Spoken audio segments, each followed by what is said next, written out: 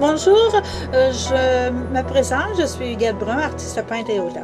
Euh, je vais tenter ici de vous donner une démonstration rapide de comment faire un petit paysage avec l'acrylique comme médium. Bien sûr, on peut aussi terminer le tout à l'huile au besoin. Sur le site internet huguettebrun.com, on peut retrouver plus amples détails en ce qui me concerne. Eh bien voilà, nous allons commencer.